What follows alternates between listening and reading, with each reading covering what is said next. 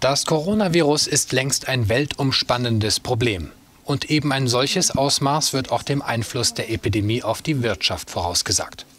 Italien spürt bereits das Ausbleiben von Feriengästen. Die Organisation für wirtschaftliche Zusammenarbeit und Entwicklung hat ihre Vorhersage für das Wirtschaftswachstum weltweit, in China und im Euroraum herabgesetzt. Die durch das Coronavirus ausgelösten Einschränkungen im Reise- und Frachtverkehr sowie vorübergehende Schließungen von Betrieben und Fabriken seien insbesondere für die Nachfrage in China ein großer Schlag. Doch der wirtschaftliche Einfluss der Epidemie breite sich wie die Krankheit selbst immer mehr aus, so die OECD.